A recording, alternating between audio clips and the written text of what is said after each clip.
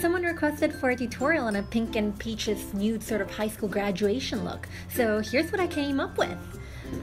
Of course, I'd recommend just going with mascara, not false lashes if you're aiming for a more natural sort of look. So, here are the before and after close-up of my eyes. Let's go on with the tutorial. Start with primer as usual. Now, grab a shimmery peachy eyeshadow and apply it to the inner half of your lids. Sorry it's not showing up too well, bathroom lighting isn't the best. Grab a reddish pinkish eyeshadow and apply it to the outer half of your eye. Make sure both colors show up when you open your eyes. Now, grab the peachy eyeshadow again and blend it over the red. What I like about this look is that you don't need to be careful about the blending. The two colors will just blend together into a pretty gradient, so just blend it over. Grab a brown eyeshadow and a super small brush.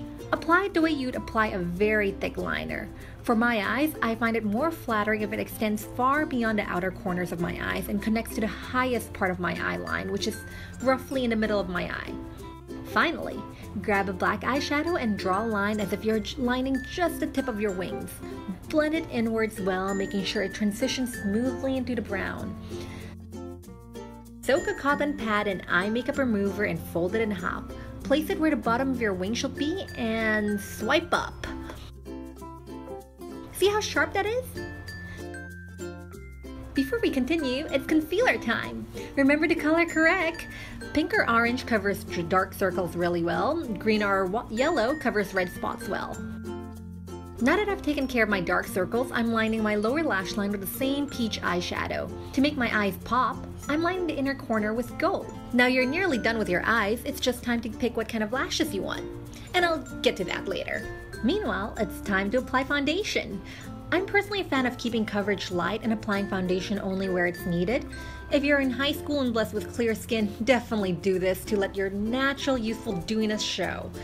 Apply a pink blush, and if it's too pigmented, blend it out with a kabuki or oval brush. You want it to look like a natural flush. Now, I'm simply using a bronzer for light contouring. For my face shape, I'm just doing my jawline and a bit under my blush to slim my face down. I'm personally not a fan of heavy contouring for real life events since it looks way too heavy, even though it looks amazing on camera. Plus, if you're attending one of those graduations where you're stuck sitting outdoors or in a hot auditorium while listening to way too long speeches, you don't want to worry about sweating your contouring off.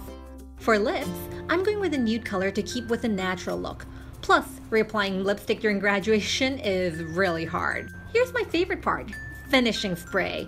This helps your makeup last longer, and if you have super oily skin like me, you'll want this to keep your makeup lasting the whole day.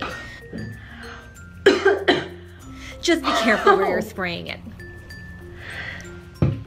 For brows, I'm just filling up the spots where my brows aren't as thick, but you can fill up your entire brows if that's what you prefer. Blend with a spoolie. If you've decided to go with mascara for your lashes, I recommend curling them with a heated eyelash curler. They're the best at getting stick straight Asian lashes to curl. Now, here's the part to help you decide what kind of lashes you want. This is how I look without any mascara on. And this is how I look with mascara on. And this is how I look with false lashes on.